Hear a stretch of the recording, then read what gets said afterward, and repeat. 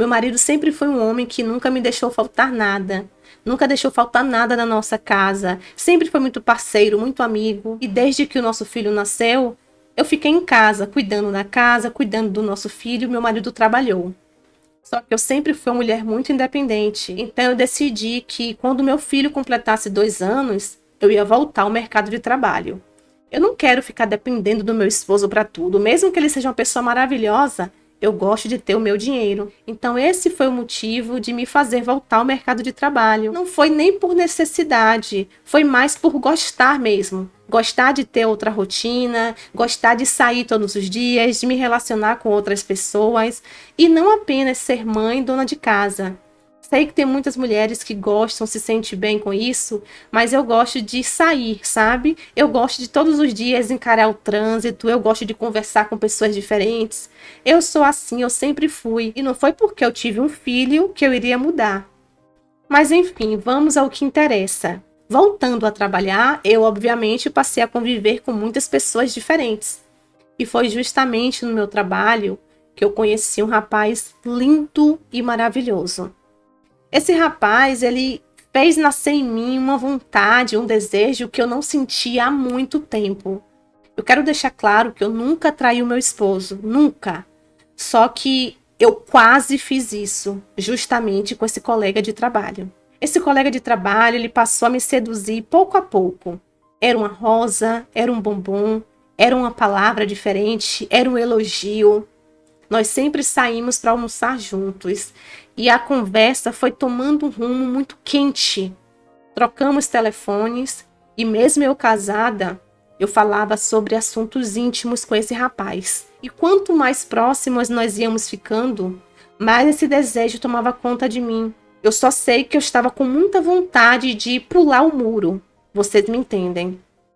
Quando eu percebi que estava ficando muito sério, eu decidi que eu iria conversar com meu marido só que eu quis começar a conversa de uma maneira diferente. Como eu e meu marido sempre fomos muito amigos, sempre falamos sobre tudo, eu não tive nenhum receio em perguntar para o meu marido se em algum momento da vida, desde quando nós somos casados, ele já havia se sentido atraído por outra mulher, a ponto até de desejar intimidade com essa pessoa. E o meu marido disse que chegar a esse ponto de sentir esse desejo, não, mas olhar, achar bonita, flertar, sim, mas que ele nunca havia me traído.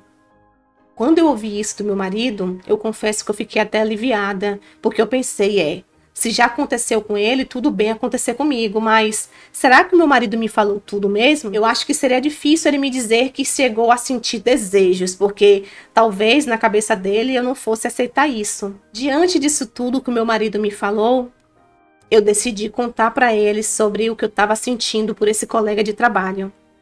O meu marido olhou para mim e disse: Olha, se você quiser tentar com esse rapaz, você tenta. Se você está se sentindo muito confusa, com dúvida, alguma coisa há. Porém, meu amor, mesmo eu sendo completamente apaixonado por você, louco por você, eu não vou te perdoar caso você me traia, tá? Só que eu também não quero te obrigar a nada. Ou você fica comigo sendo fiel a mim, ou você vai viver a sua vida e faça a sua melhor escolha. Quando meu marido me falou isso, eu confesso para vocês que eu fiquei bem mexida. A dúvida, ao invés de diminuir, só aumentou. Então falei para ele que qualquer decisão eu falaria com ele, mas que jamais eu iria fazer algo escondido. Eu não iria mentir para ele de forma alguma. Só que por outro lado, eu pensei, eu acho que eu vou experimentar se envolver com esse colega de trabalho antes de tomar uma decisão. Voltei a conversar com esse colega de trabalho. Quando eu falei para esse tal colega sobre as minhas necessidades, vontades. Eu me declarei para ele e disse para ele que eu já tinha conversado com meu marido. O meu colega, ao invés de se interessar, de demonstrar um interesse maior, esfriou. O meu colega ele simplesmente começou a me evitar. Ele já não me respondia com a mesma velocidade, sempre inventava alguma desculpa. Ele começou a mudar comigo e aquilo me deixou com muita raiva. Eu fiquei bem chateada. Como é que o cara faz um papel desse depois de eu conversar com meu marido, ao invés dele me apoiar, ele some? Até que um belo dia eu fui almoçar sem esse meu colega e vejo ele flertando com outra moça, moça também lá da empresa. Os dois estavam rindo, conversando muito, até que no final eu vi que os dois se beijaram. Ele não viu. Quando eu vi aquilo ali, eu me senti totalmente traída, porque as conversas que nós estávamos tendo já eram conversas muito íntimas. Ele demonstrava para mim o interesse. Eu sentia que esse colega queria de fato ter algo comigo porque ele se dizia apaixonado por mim. E de repente ele me esquece, de repente ele já está com outra. Passado um tempo, esse rapaz assumiu o relacionamento com essa mulher. Foi ali que eu percebi que quase que eu abro mão do meu casamento em prol de um moleque.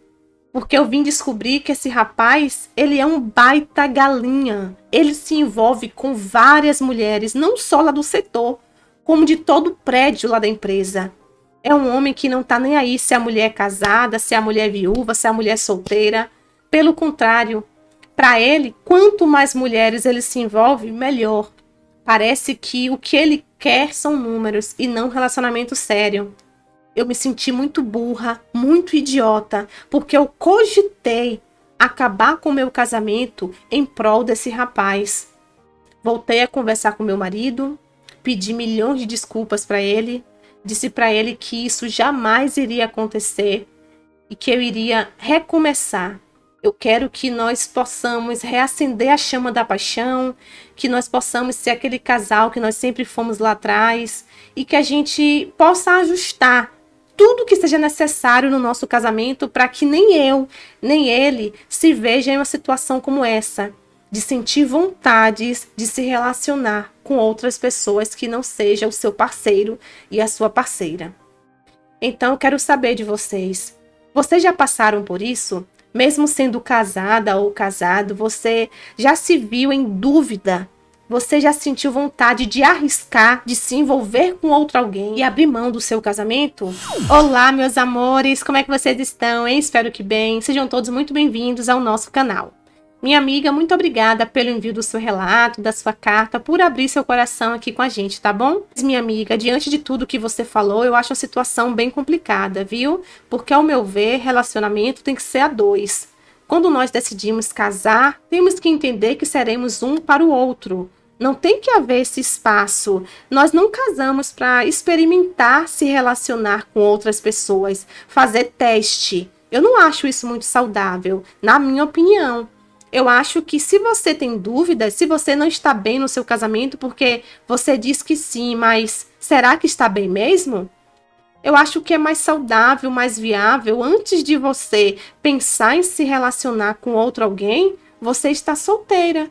Porque casamento não é isso.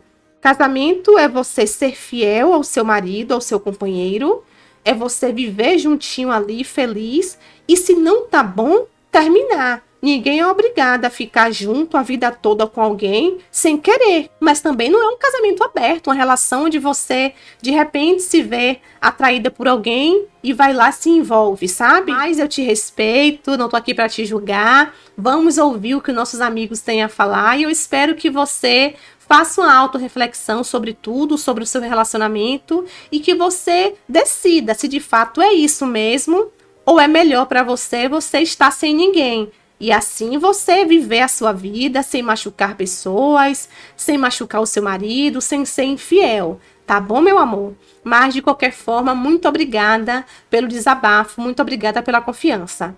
E vocês, meus amores, o que, é que vocês acharam da história de hoje? Vocês já viveram algo parecido? Conta aqui pra mim que eu vou amar saber. Eu espero que vocês fiquem bem, se cuidem. Beijos de luz. Tchau, tchau!